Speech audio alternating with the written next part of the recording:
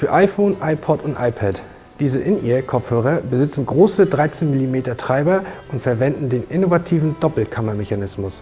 Der sorgt für eine bessere Basswiedergabe, ohne die Mitten- und Höhenwiedergabe in Mitleidenschaft zu ziehen.